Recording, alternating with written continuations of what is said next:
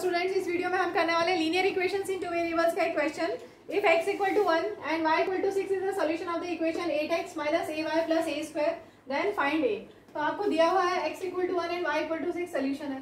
ठीक है तो जहाँ हम पहले इक्वेशन लिख लेते हैं, हमें इक्वेशन दी हुई है eight x minus a y plus a square is equal to zero और आपको दिया x equal to one and y equal to six solution है। मीन्स अगर हम एक्स की वैल्यू वन पुट करें और वाई की वैल्यू सिक्स पुट करें तो ये इसका सॉल्यूशन होगा मतलब इक्वल टू ज़ीरो आएगा। सॉल्यूशन मतलब इज़ इक्वल टू ज़ीरो आएगा। बस अब सॉल्व कर लो।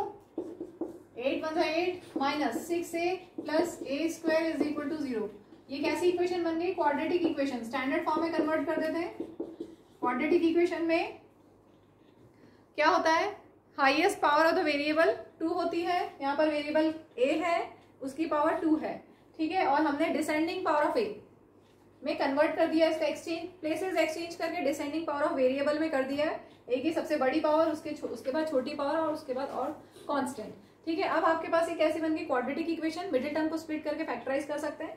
ठीक है तो हमें ऐसे दो नंबर सर्च करें मैं बता रही हूँ स्प्लिटिंग द मिडिल टर्म कैसे करना है?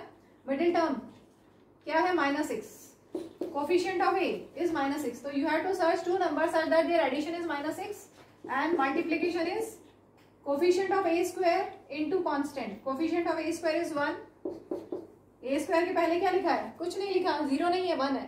ठीक है? वन इंटू एट ऐसे किया जाता है। अब एट का प्राइम फैक्टराइजेशन करोगे तो आपको क्या मिलेगा? Two into two into two ठीक है? अब आपके पास ये तीन नंबर्स हैं। इन तीन नंबर आपको दो नंबर्स बनाने हैं such that their addition is minus six तो क्या होगा? फोर एंड टू ले लें।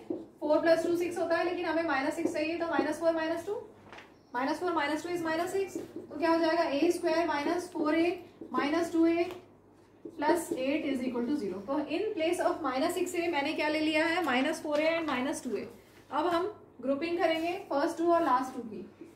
फ़र्स्ट टू टर्म्स में से ए कॉमन बचा क्या? ए माइनस फोर इन दोनों में क्या कॉमन है? टू और माइनस भी मैं लिख रही हूँ साथ में।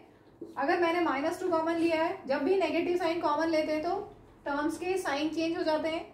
अब माइनस था माइनस टू ठीक है? तो अब यहाँ पर क्या आएगा? सिर्फ़ ए बचा और साइन चेंज करके लिखेंगे। इस टर्म के साथ साइन क्या था? माइनस का तो अब यहाँ प्लस हो जाएगा। और ये जो प्लस है, इसकी जगह यहाँ माइनस हो जाएगा, क्योंकि मैंने माइनस कॉमन लिया है। टू कॉमन लिया एट में से तो क्या बचा? फोर क्योंकि टू फोर से एट होता है। ठीक है?